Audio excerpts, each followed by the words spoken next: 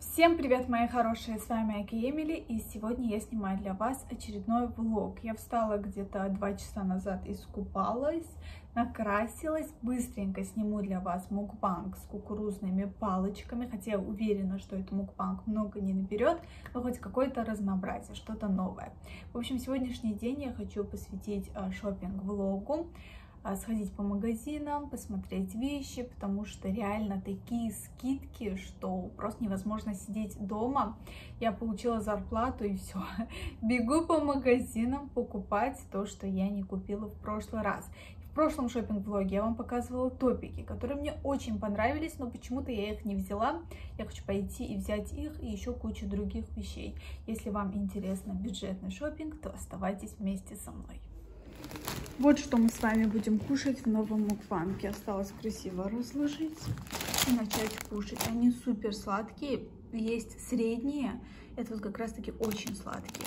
Но они обалденно хрустят. Надеюсь, что вам понравится. Я вот так вот разложила, и мне что-то кажется, что слишком много. Смогу ли я все это съесть? Мне кажется, если не смогу, то зачем ставить перед собой столько, сколько я не смогу?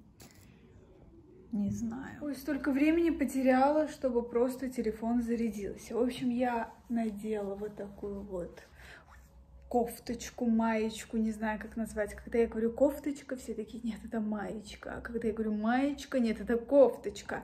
И вот такие вот брюки. Я специально надеваю что-то такое, что максимально удобное, потому что в примерочных сто раз снимать и одевать, например, джинсы скини, это немного напряг. Поэтому вот так вот я оделась возьму с собой вот эту сумку, которую я покупала в Минисо. Она максимально удобная. Я просто настолько привыкла брать сумки, которые вот так вот носятся. И получается у меня руки свободные, я могу снимать, я могу трогать, щупать вещи. Направляемся на шопинг. Просто не вылазю из этой обуви. Супер удобная и по мне очень сильная. Берем мусор, пока бабушка не напомнила, и выходим. Я в маске, я даже на улице хожу с маской. Мне как-то так комфортней. Я чувствую себя защищенной, хотя это вообще не факт, но все равно.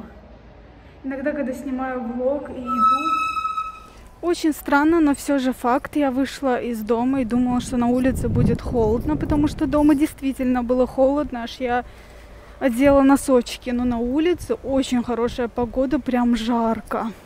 Я в шоке, почему тогда дома холодно. Возможно, у нас здание такое. Летом жарко, зимой холодно. Вот.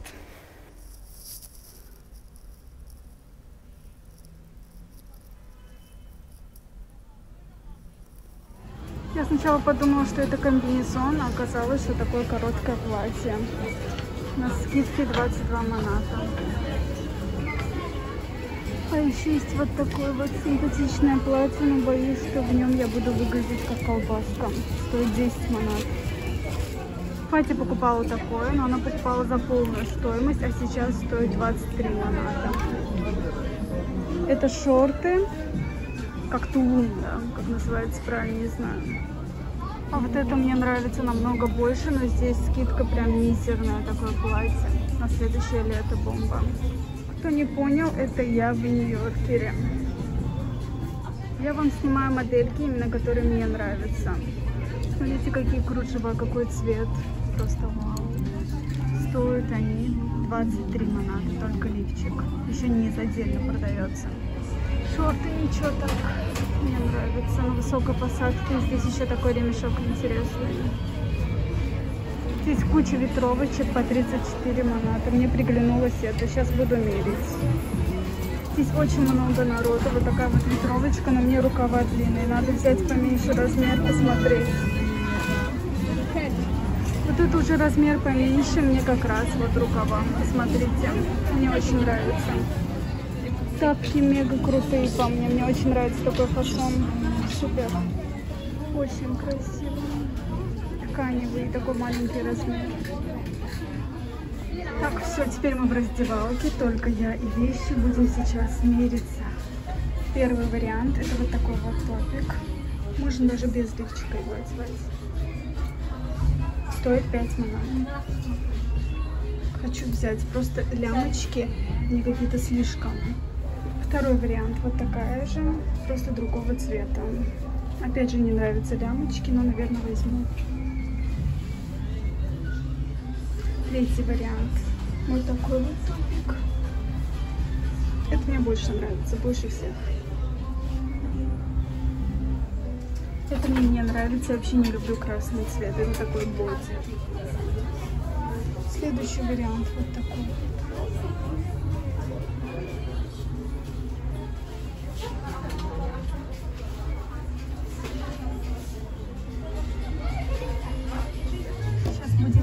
Эти брюки. Мне не нравится, как сидит вообще. Ужасно, я как будто очень толстая в них. Наконец-то я купила чехол, который очень давно хотела. Красота.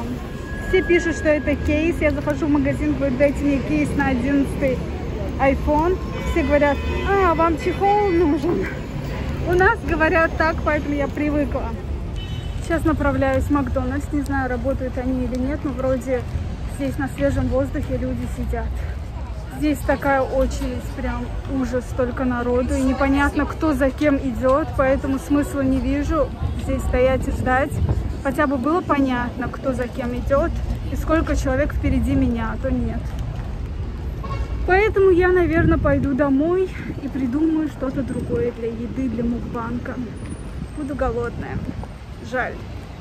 Хотя можно заказать через Вольт. В общем, что-то придумаем. Такой вот костюмчик 25 монат стоит.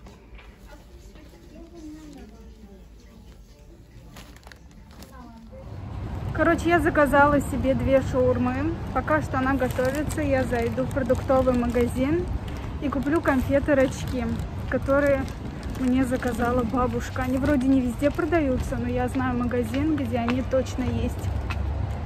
Сейчас зайдем их возьмем, чтобы просто так не терять время. Хотела снять для вас Макдональдс, но, к сожалению, там огромная очередь, ждать неохота. И самый прикол заключается в том, что непонятно, кто за кем. Странная очередь. Нету никаких номерков. Не хочу терять время. Лучше я закажу через доставку, переплачу, но зато будет удобнее. Обожаю эти конфеты, они очень вкусные. Ну все, я закупилась, поднимаюсь наверх. Смотрите на этот чехол, какой мне нравится. Прям кайфую от него. И зеркало такое, знаете, luxury. Сразу видно, в каком жилом комплексе крутом я живу. Сразу по зеркалу понять. Все, я уже дома. Давайте покажу, что же я купила это показывать не будем.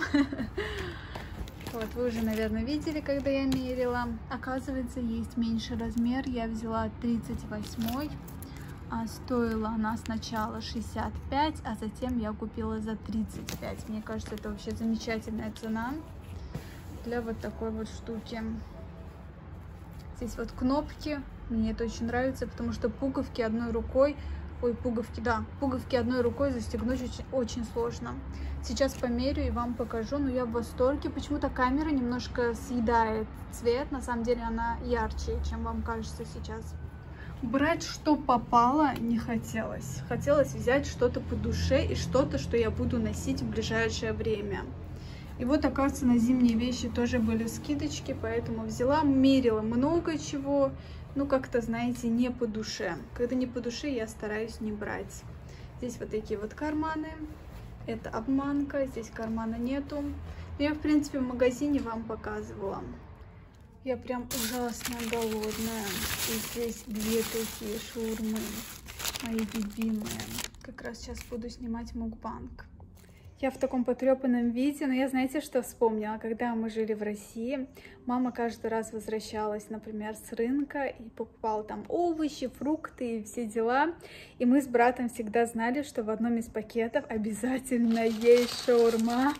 И как только мама заходила домой, мы бежали, отнимали у нее эти пакеты и прям по чувству запаха По запаху мы определяли, в каком пакете шаурма.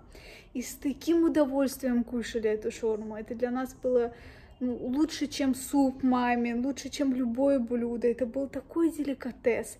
А сейчас, когда ты можешь сам себе позволить поехать купить шаурму, уже, знаете, не настолько ты любишь это блюдо, так можно сказать, ты любишь этот эту вкуснятину. А раньше это был просто праздник, и мама всегда ругалась, говорила, а чем вам не нравится блюдо, которое я готовлю, она готовила долму, там, не знаю, душпере, все что угодно, но для нас шаурма это было вообще святое.